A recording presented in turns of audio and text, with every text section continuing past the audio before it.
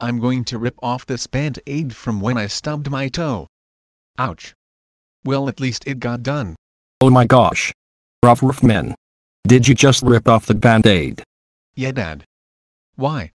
I can't freaking freaking believe you. You're already a rip-off of Moose and Zing WarioWare. And now you're a rip-off of Band-Aids. Dad, you don't understand. I was just trying to take the band-aid off. You're grounded until you're not a rip-off of Band-Aids. Go to your room right now. But dad, Right now. Yeah.